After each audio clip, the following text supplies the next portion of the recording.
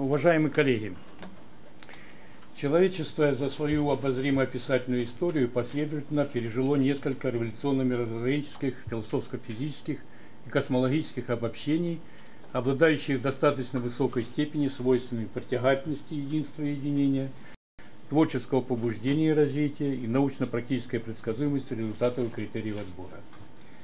Довольно условно их можно разделить по именам нескольких основателей и хронологически расположить следующим образом. Первая группа Лао Будда, Иисус Христос, Магомед. Вторая группа Пифагор, Аристотель, Птолемей. Третья группа Галилей, Коперник, Ньютон, Дарвин, Максвелл. Четвертая группа Пуанкаре, Умар, Умов, Эйнштейн, Хаббл, Гамов. И пятая группа Клиффорд, Уиллер, Катран, Шипов. Первая четверка завершила формализованную формализован неосознаваемый цикл космологии и физики духовным обобщением, основанным на нашем интуитивно-духовном понимании, внутреннем осознании единства мира, единства, единой мировой связи и действующих в ней всеобщих принципов и законов, преломленных человеческую душу и разум. Аристотель и Птолемей были геоцентристами, понимали центром земную материальную твердь, на которой все стремится к покою, вокруг которого – все э, находятся в вечном и равномерном вращении Солнца, Луна, звезды. То есть и физика на Земле, и космология на небе утверждали абсолютный характер стремления к покою на центре Земли и вечно равномерного движения, то есть относительно стабильного покоя на небе. Галилей, Коперник, Ньютон, Дарвин, Максвелл, их можно обозначить как материалистов, показали абсолютность движения и развития как таковых, и единство невидимой грави... силы гравитации, объединяющие мироздание. Нашли математические выражения этого объединения на основе всеобщей материальности, в основу которой положили эфир. Космология приобрела многомировой характер. Следующий этап очень богат на имена. Условно представителей этого этапа можно назвать полевыми дуалистами, которые с одной стороны присвоили полям гравитационному, электрическому, магнитному, электромагнитному и тому подобное – статус особых видов материи, материи без энергоматериальных агентов и скрытно придали такой же материальный вид пространству и времени, признав за ними свойства отклоняться, прогибаться, менять размер и время жизни объектов и так далее. Более того, поля объявились своего рода фундаментальной материей, порождаемой пустотой, и начались поиски единой теории поля на основе сформированных Эйнштейном принципов эквивалентности и всеобщей относительности а с другой, установив квантуемость полей, но пока еще не, про, пространство, нашли по существу необходимость агентов неведомых форм и содержания. Физика и космология стали резко эволюционными, с непонятной точкой сингулярности, гипотетическим большим взрывом и множеством последствий, носящих в основном умозрительный характер математических изысканий, приведших к полусотни стандартных моделей. Отсюда уже было далеко, недалеко до следующего этапа в различных модификациях. Этапа геометризации. Сначала объединившего поля с геометрией пространства-времени, а затем, с одной стороны, начавшего создание все новых и новых искусственных нефизических измерений, путем уменьшения до неизмеряемых размеров просто геометрии неведомо чего, а с другой, заполняющего пространство торсионными полями, также неведомых размеров квантов и агентов, что привело к рождению материальных частиц из ничего. Все это сопровождалось и подтверждалось особыми видами математики и геометрии, бывшей для каждой теории, будь то 17 струнных теорий, 5 теорий суперструн, М-теории в 10 с половиной тысячах вариантов, которые на сегодня существуют, или теория физического вакуума специальными, сверхложными, доступными сверхузкому кругу лиц.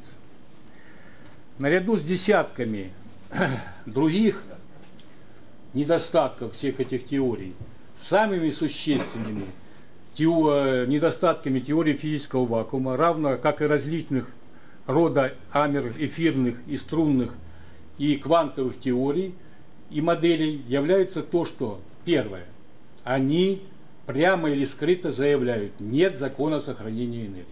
Ну, сейчас уже прямо они заявляют. Во-вторых, в них отсутствуют основания для образования и развития креативного принципа и цели законообразующего, отбирающего, развивающего онтологического стержня эволюции, обеспечивающего зарождение и развитие материи, звезд и планет, э, живого, разумного и так далее. В-третьих, нет физических и теоретических оснований, обеспечивающих единство и единение мироздания. Почему мы все из атомов, хоть там за 20 миллионов световых лет, хоть тут одинаковые? То есть, грубо говоря, развитие эволюции есть, вселенная, вселенная расширяется, причем ускоренно уже расширяется, но без источника, без цели, без границ, без принципов.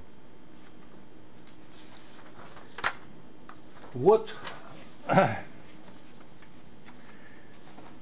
при этом надо отметить что? Что каждая из этих теорий э, э, в чем-то они какие-то грани правильно отражали.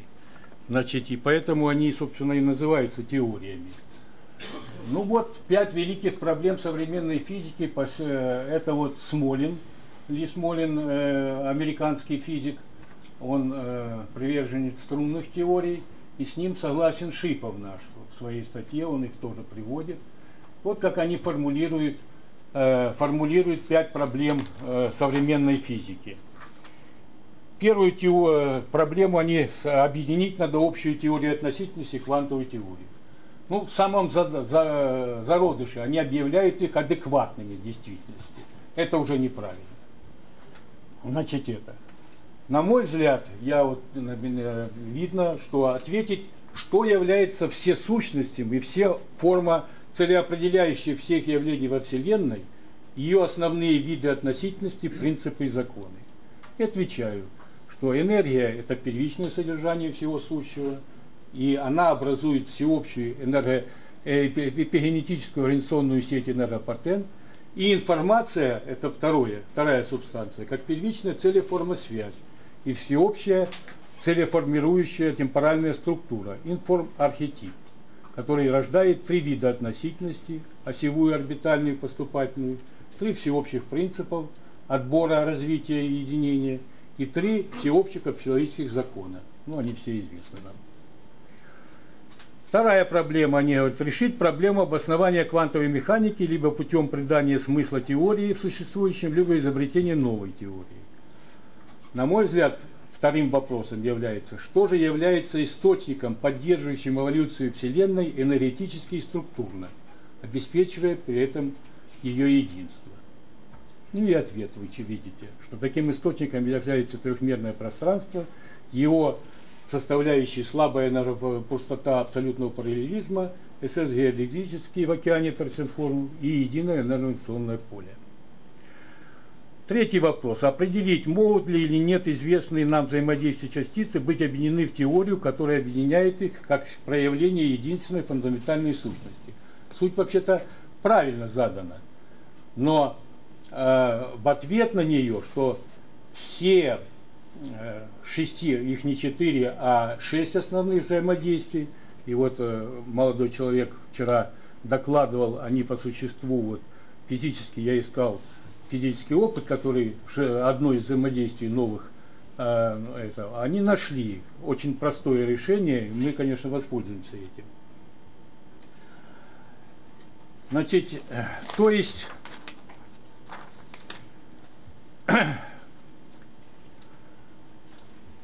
автор, я предлагаю конечное, на мой взгляд, обобщение – что в основу этого обобщения положено энергоинформационное содержание с формы всего сущего.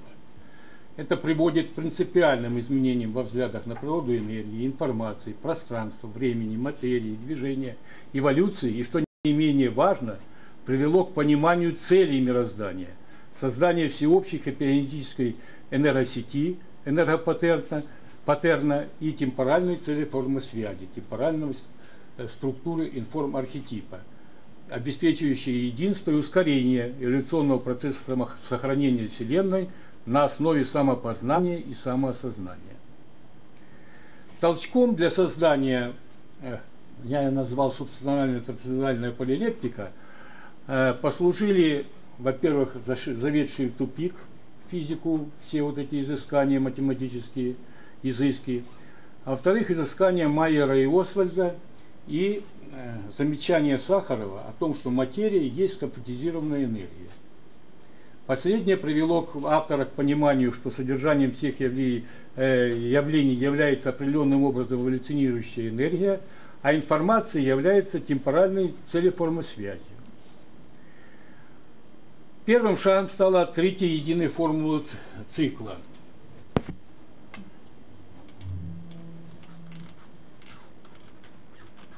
Вот они формулы, три формулы, которые автор, э, так сказать, создал. Первая единая формула цикла, э, которая является обобщением законов Ньютона, выводом из постулата, что единым квантом взаимодействия является цикл.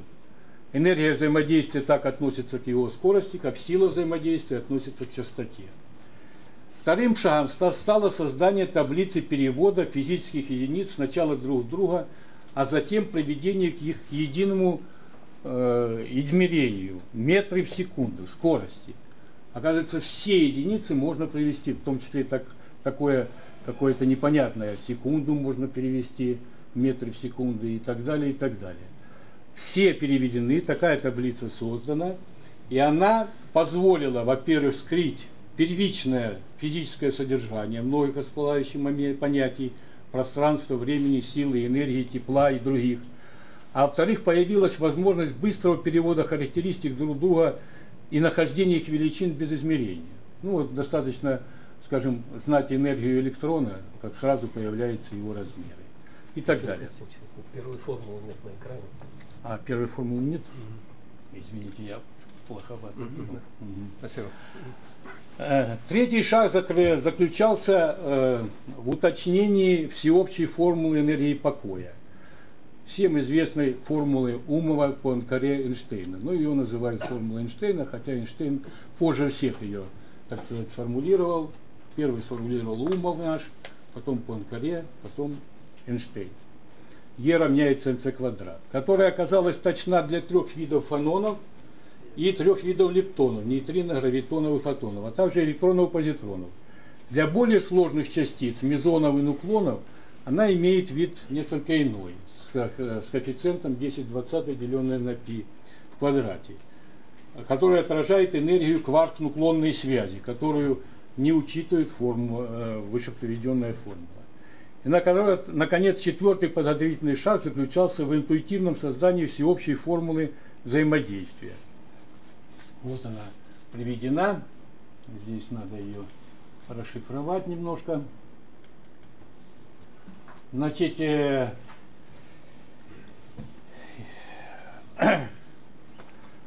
где э, сила взаимодействия F, э, А1, А2 величины и вид объекта взаимодействия, выстроенных в следующем порядке возможного. Энергия, энергия, энергия, заряд, заряд, заряд, заряд, масса. Вот заряд массу как раз этот товарищ э, демонстрировал в опыте.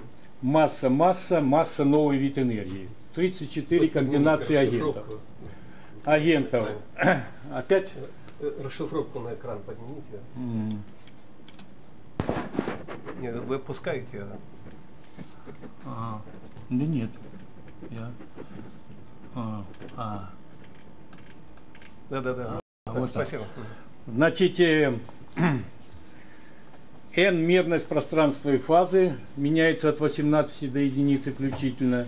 S э, скорость, C скорость света и R расстояние между действующими э, и коэффициент мерности времени от 0 до 5 меняется. Ну, могут сказать, ну, формулы ты вот изобразил, что они обозначают, суть ее физическая и насколько они верны, так сказать, это самое. Чем они подтверждаются?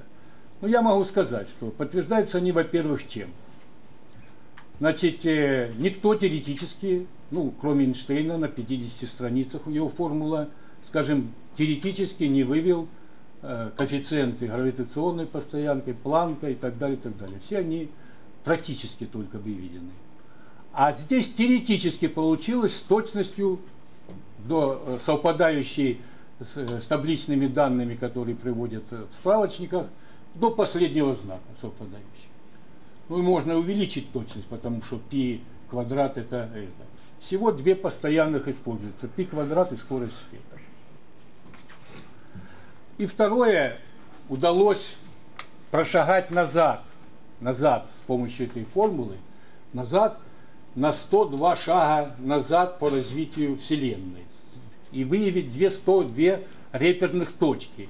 И в этих реперных точках выскочили, как чертик из табакерки, выскочили все, все постоянные, все частицы, в том числе это частица великого объединения, которую еще пока никто не нашел, и планкион выскочил, и нейтрон выступил, выскочил со своими показателями, и протон выскочил. То есть, э, ну, частично, я далек от мысли, что я уже, так сказать, все там расписал и так далее. Частично они, вы, э, они выскочили, как там масса там выскочила, их скорость и так далее, и так далее все показатели там еще работа и работа, но они выскочили и э, выявились, так сказать. Вот много еще можно приводить факторов, почему, так сказать, это. Но из 32 с лишним возможных вариантов выскочило действующих 37 коэффициентов и 167 видов сил. Значит, э, Космологи выскочили сами, как черт из табакетки, выскочили два космологических члена. То есть это скалярные силы, которые проявляются как силы, не, появляются как силы, присутствуют в каждой точке мироздания, они перпендикулярны друг другу, размеры их выскочили эти, и они являются основной физической причиной всеобщего вращения и всеобщей цикличности. Всеобщей цикличности. Параллельно осознавался механизм энергоэволюционного создания и поддержания мироздания, его постоянное расширение и эволюции современной форме. То есть постепенно вскрывалась многослойная структура Вселенной, в том числе и три слоя пространства. Такие, была таким образом скрыта эволюция, цель эволюции – самосохранение путем саморазвития до самоосознания и получения тем самым свободы самовозвышения. Все это рассматриваю как самые первые шажки к раскрытию существа и строению всеобщих эпигенетической организационной сети энергопаттерна и ее структурной формы целесвязи, формы архетипа, системы действующих эгрегоров и космологических членов в их целостной эволюционной взаимосвязи и периодически возникающими космологическими, телурическими, а сейчас уже антропогенными катастрофами. По моему мнению, дальнейшее познание невозможно без коренной смены парадигмы, обретения на ее основе нового видения реальности, нового мировоззрения, создания новой теории принципов, теории о сквозном единстве мироздания. Практически во всех теориях, претендующих на мировоззренческий аспект, самым уязвимым местом является объяснение развития. Понимание причины основной и оснований появления сложных комплексов и новых э, энергоинформационно-материальных видов и типов их совокупности. Источники и агенты энергоинформационного обеспечения эволюции, ее цели и единства. Хотя этот вопрос относится ко всему существующему, от, электро, от электронного нуклонного атомов до мегагалактики и Вселенной, и от синих водоростей и амебы до человека и человеческого общества, наиболее выпукло и зримо это проявляется в становлении эволюционных теорий живого. Начавшись с мифов о создании мира и природы высшими существами, что также несло в себе зародыш развития, креационизм достиг научной высоты в системе природы Карла Линнея. Затем начался и продолжился период эволюционизма. Трансформизм, ламаркизм, дарвинизм, менделеевизм, иммунационная теория, неодарвинизм, теория скачков последовательно добавляли количество и качество факторов, влияющих на возможность появления нового. Это внешняя среда ее изменений, изменчивость и наследственность, естественный отбор, законы Менделя, мутационные изменения и отбор мутаций, скачки и изменения. Безусловно, все это проясняло и расширяло картину изменений и насыщало ее материальной основой. В то же время не находилось физической причины или их комплекса для появления новых видов и таких сложных комплексов, как, к примеру, глаз, мозг и так далее.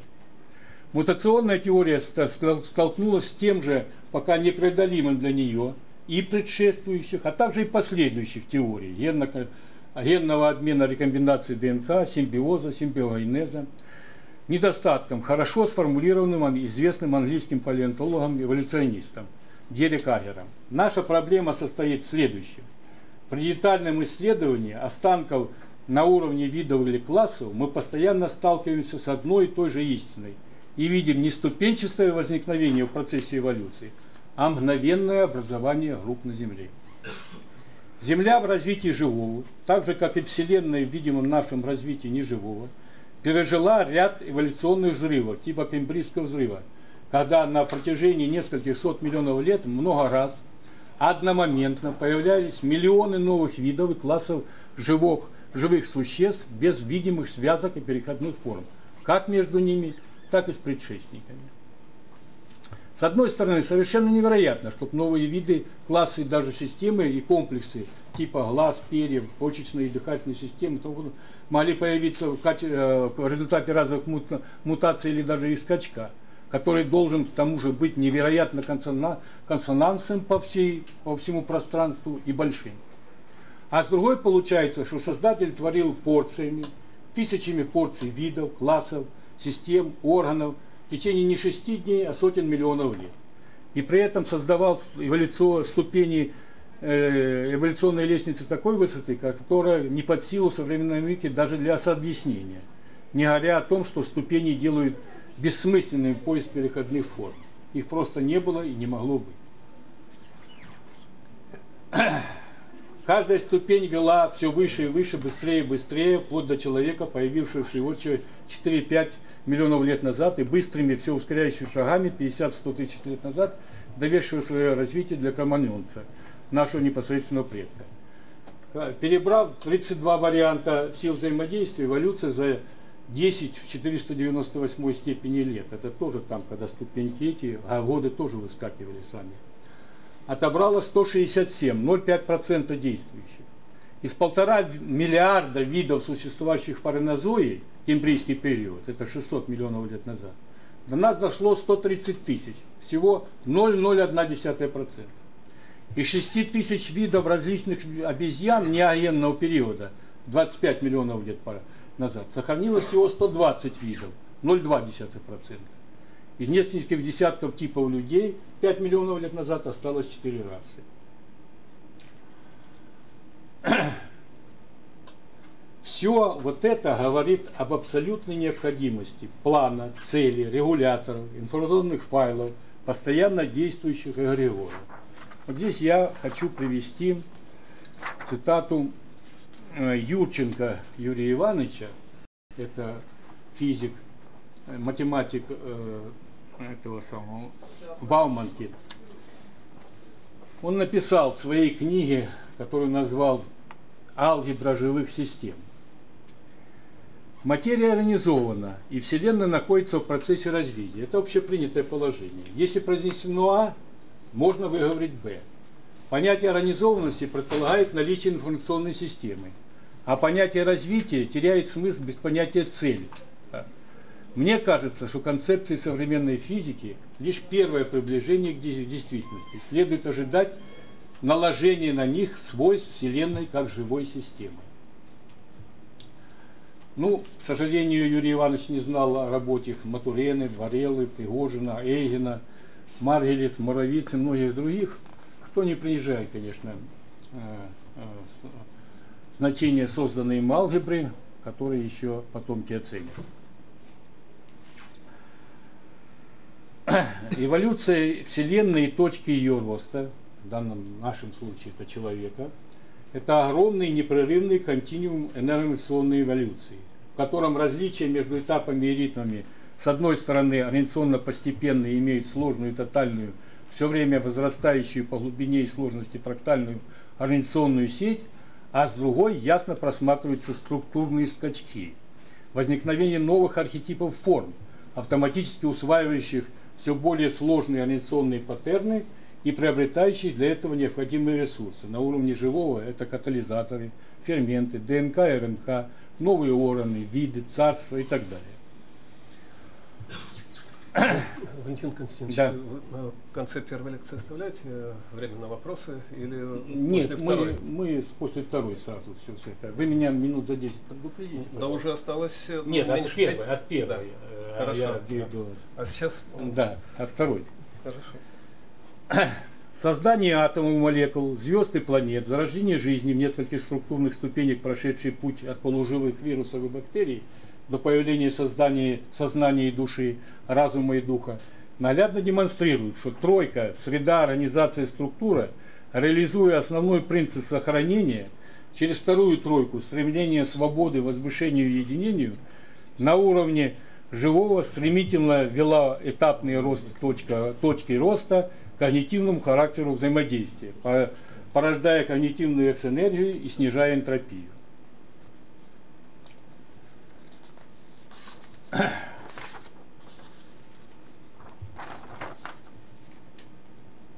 При этом четко прослеживаются такие закономерности тотальной континуальности, целостности, единения.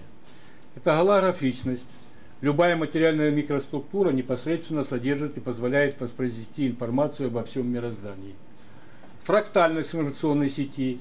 Все части целого взаимодействуют с единым информационным полем, взаимодействуют между собой и приобретают эмергентность собственной структуры и взаимодействия как целого. В итоге мир голографичен, фрактален, дважды девятимерен, пространственно и темпорально шестимерен – состоит из континуума энергии информации в различных формах, сочетаниях и проявлениях. Мир постоянно эволюционирует, подпитываясь энергоинформационно из геодезических и нейтринных геодезических по единой мировой связи, определяемой всеобщей когерентностью, задаваемой многоступенчатой системой эгрегоров, действующих в рамках единой цели системы. Разработки Пригожиным и Глансмором и теории нелинейной динамики, термодинамики и самоорганизации, саморазвития диссипативных структур с потоки энергии, Хакином нелинейной лазерной теории, Эйгеном теории химических гиперциклов, Чу гипотезы Бустрапа последовательно приближают нас к пониманию того, что корни живого лежат в медленной, но верной эволюции неживого, совершенствовании ее организации путем перехода, изменения формы. Это вылилось в систему автопоэза Умататараны Варелы и Урибы, дополненной теорией Гаи Земли как саморелирующей системы Лавлока и Хичкока. Вплотную приблизившись к пониманию подлинного значения базовой организационной модели всеобщих принципов законов в рамках единой мировой связи как тотальной трансцендентальной сети Вселенной, комплекса эгрегоров, источников энергии и информации их обеспечивающих. Так оказалось, что совершенно недостаточно знать генетическую информацию о структуре человеческого генома, последовательности генетических э, элементов в нитях ДНК, то есть о карте геномов, их составе и сборке.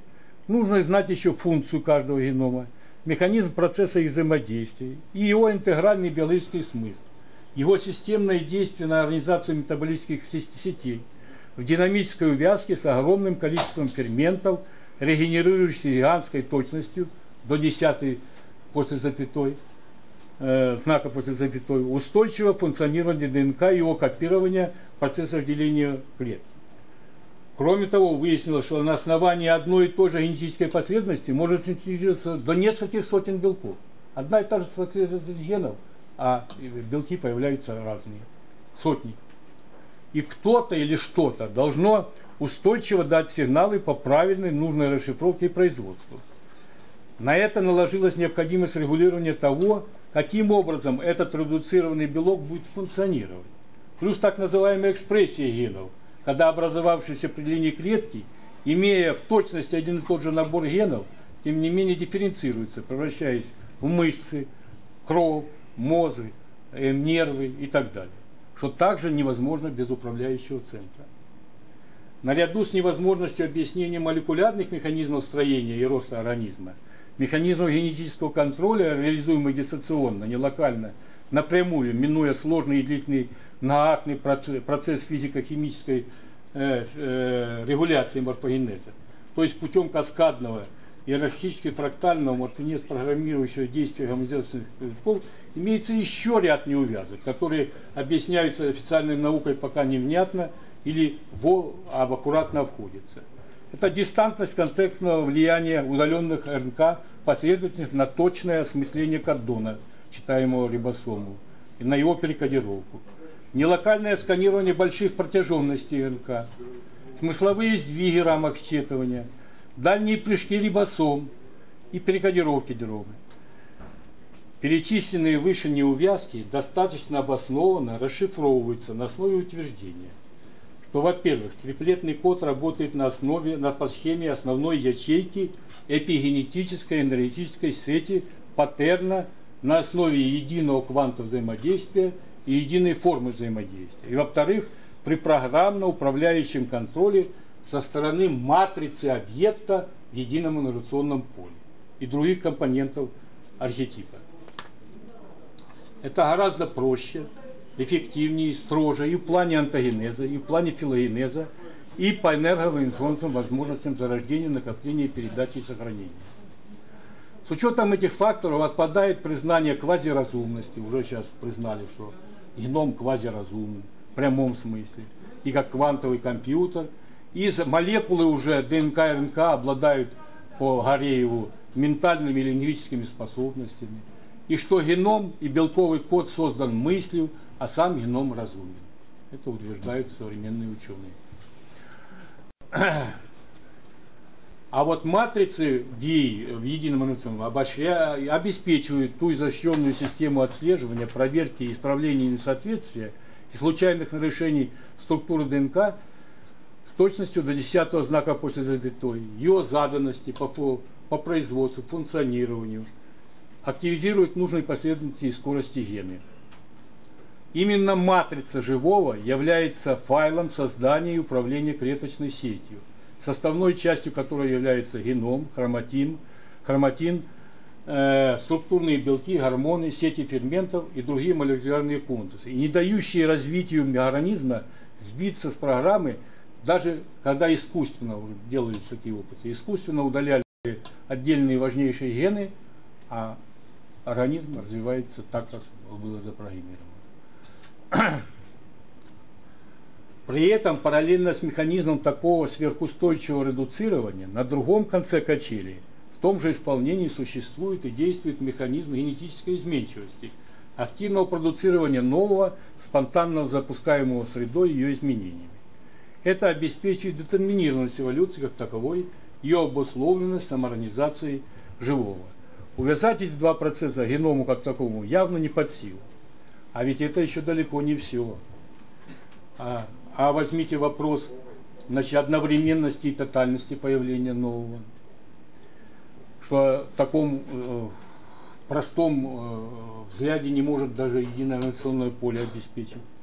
Постройка же матриц живого осуществлять гораздо, перестройка уже матриц живого ей осуществлять гораздо просто и быстро даже, что очень важно, надежно, так как она опирается на первичную тотальную организационную сеть. Чем встраивать новые геномы, геном путем бактериального симбиоза, а потом медленно распространять его по земле с опасностью случайного уничтожения или искажения. Для изучения эффектов типа 100 обезьян другого исполнителя, кроме ИИП, нету.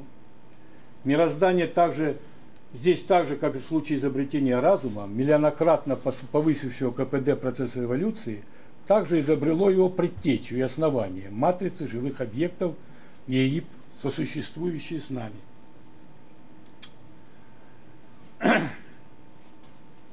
Ну вот такие несколько фактов. Планк. Резонатор реагировал только на те лучи, которые он сам испускал – и оказывался совершенно нечувствительным к соседним областям спектра. Атомы одной молекулы, это уже другой автор, будучи разъединенными и брошенными в среду аналогичных атомов, находят для воссоединения именно друг друга.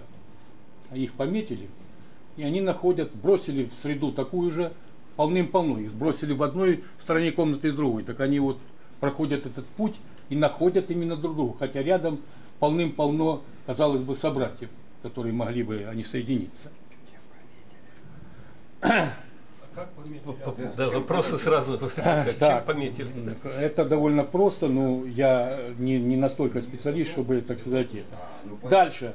Цепочки ДНК ищут и находят потерянные друг на друга части и сращиваются винтообразные лесенки ДНК. Именно разорванные ДНК находят, а не какую-то другую ищут а также тотальное притяжение и отталкивание различных уровней, а так называемое тяготение до любви и ненависти у человека, для глюкогена Бергсона, находящего максимальное проявление материнской любви, мы можем сделать вывод о пронизанности всего мироздания всеобщими принципами отбора, возвышения единения, эволюционно ищущими формы максимальной проявленности и силы онтологической направленности.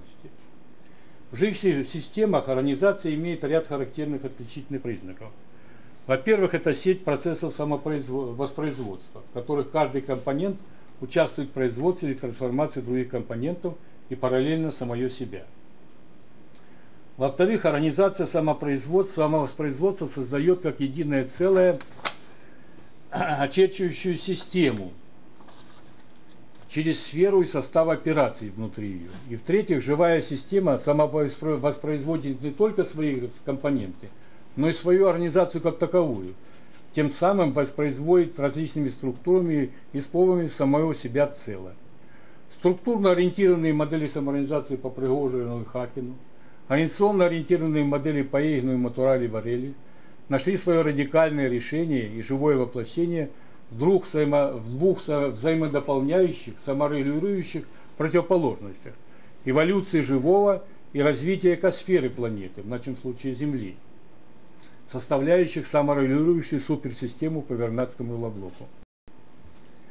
Таким образом, наша неосознанная вера в существование невидимого и неощущаемого порядка вещей приобретает достаточно строгое, формализованное основание – которая, правда, нуждается, конечно, э, в дальнейшем углублении и развитии. Такая же проблема возникновения нового встает перед попытками объяснения сознания как такового, о чем хорошо пишет философ Чалмерс. Он пишет, говорит, чтобы объяснить, как возникает опыт сознания в наше построение, требуется ввести некий дополнительный ингредиент. Ну, непонятно какой ингредиент. По мнению Капра, Таковым ингредиентом, как и в случае объяснения появления живого и биологических феноменов, в достаточной мере является сложная динамика нелинейных живых сетей. сетей. На наш взгляд, этого и в том, и в другом случае явно недостаточно.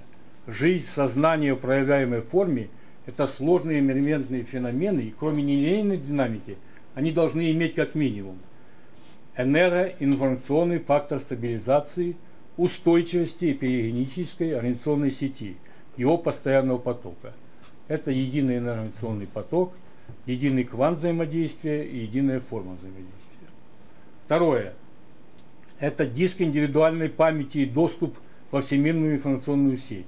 Это матрицы в ЕИП каждого живого объекта и само ЕИП с торсинформами систему отборов бифуркационных точек и направлений развития катализа бифуркации. Это также матрица и это. Вектор и стрела э, цели.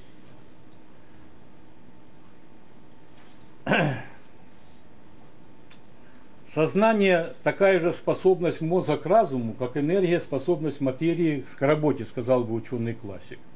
Мы же говорим – что сознание – это преобразованная в упорядоченную, когерентную единому информационному полю информацию и энергия, а мозг – форма, орудие – это преобразование, так же как материя – это форма компактизации энергии. И в этом плане сознание имманентно материи на всех уровнях неживого и живого. Вопрос только в уровнях, способах и скоростях ментальной деятельности, которые так же, как и формы, эволюционируют скачкообразно. Афоризм Юджина Одума «материя циркулирует, энергия рассеивается» не точен. На самом деле точнее так. Энергия преобразуется, информация накапливается, материя объединяет. Все циркулирует и эволюционирует. То есть фактор целостности должен включать в себя триаду – взаимодействие и взаимосвязи части целого, соответствие и взаимосвязи со средой, энергоинформационной консонантности по целевому назначению смыслу и, и в увеличении, расширении, углублении свободы, возвышения и единения точки роста. Это ведет к новой парадигме, не просто на основе системного подхода, говорящего о том, что целое его свойства не сводится просто к его частям и их свойствам, но на основе того, что матричность, паттерность в эволюционном процессе непрерывно растет геометрической прогрессии. И увидеть внезапные свойства можно только поднявшись на следующий уровень эволюции. Можно, однако, прогнозировать, особенно если понять принципы и рисунок эволюционной вязки единой мировой связи.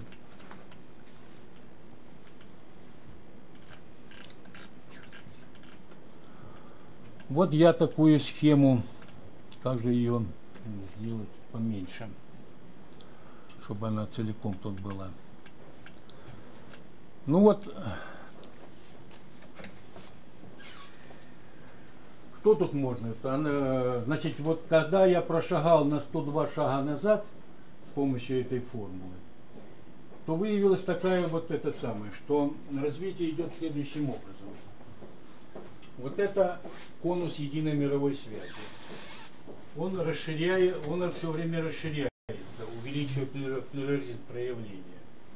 Значит, он начался с единообразия полного единичного детерминизма, а потом он расширяется. И каждый, ну вот тут вот ступеньки такие были, абсолютного вакуума, я в четверг буду раскрывать все это дело, абсолютного вакуума, вакуума стационарных точек, вакуума э, стоячих суперволн, биовакуума и более духовного вакуума. Вот каждый э, вот этот цикл, он развивался таким образом.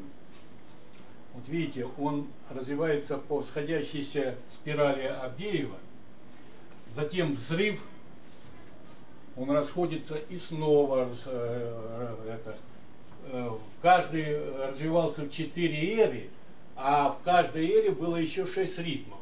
Вот это реперные точки этих ритмов этих, как раз вот они найдены и в таблице сведены у меня. Значит, э, значит, вот единая мировая связь как бы расширяется, укрепляется, а конус развития, он сужается. И Сходящаяся спираль по Абдееву, да? Да, сходящаяся спираль по Абдееву, расширяющаяся спираль по Энгельсу и Канту и э, сходящаяся спираль по Абдееву. Значит, они обе присутствуют. На самом деле, на самом деле, вот здесь надо было бы еще включить, но, к сожалению, Э, вот здесь надо было еще спираль навить. Навить спираль вот на эти конуса.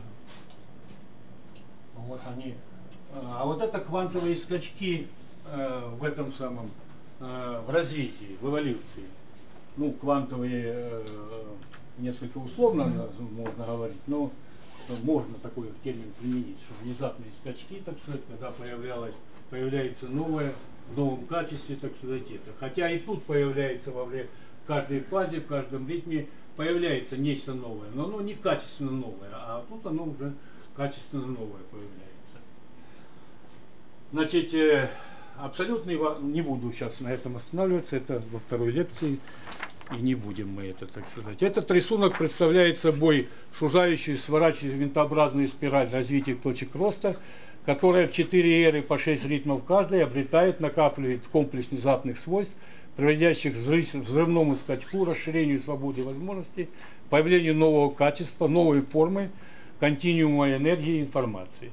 При этом конус единой мировой связи непрерывно расширяется, увеличивая плюрализм бытия, то есть свободу его развития, а конус единения непрерывно сужается, увеличивая его целостность и манизм эволюции. При этом пара объект-среда – это Леонид Толкай, последовательно разрабатываемый Богдановым фон Бертлан – Бертлананфи, Виннером, Пригожиным и многими другими, которые посредственно приближались к пониманию механизмов гомеостаза и эволюции, саморегулирования и самоорганизации, диалектики и полиэлектики, существования закрытых и открытых систем, хаоса и порядка, энтропии и экс-энергии на базе тотальных единого, единой формы взаимодействия странного мебиусоподобного трактора и единой кванты взаимодействия цикла. То есть быстрее развивается среда и наполнение, быстрее информационное наполнение насыщается единоинформационное поле, отзывчивее всесторонне становится связь матрицы родителей, активно и глубже формируются новые матрицы и так далее и тому подобное. При этом во всей полноте используется нажитое ранее. 99% генов человека соответствует генам мыши, а 80% из них полностью, почти полностью идентичны. ДНК человека и шимпанзе идентичны на 98,4%, что прямо говорит о нашем общем предке, сошедшем со сцены 7 миллионов лет назад. Кроме того, у всех живых существ присутствует универсальный минимальный набор генов, из которых природа комбинирует программу телообразования всех, от рыб до человека.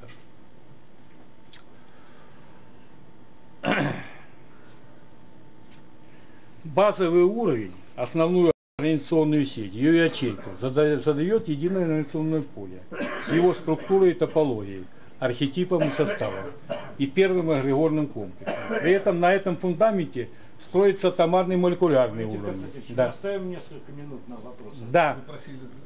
Да, я сейчас заканчиваю. Заканчиваю. Я, к сожалению, не дошел до человека, и человеческих составляющих и...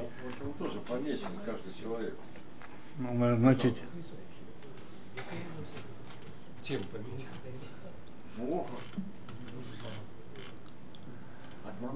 Ну вот человеческие составляющие мира и мировоззрения. Вот у него четыре, четыре э, сферы.